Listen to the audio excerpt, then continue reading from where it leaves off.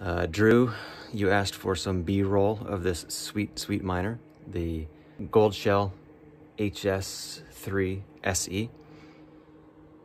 And here it is. Did you know that you could change the color of the lights? There's a little switch.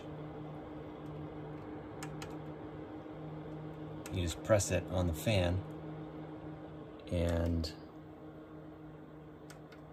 the color of the lights change. And also one cool little tip is if you hold it down, it will go off completely, which is great for, you know, if you have one of these under your bed uh, and your wife doesn't like the, uh, the flashing lights in the middle of the night, then uh, you can turn those off.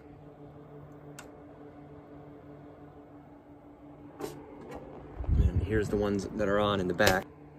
Those turn off as well.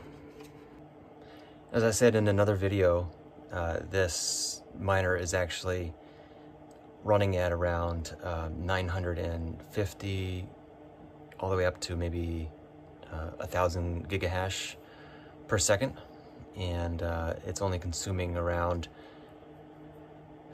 906 watts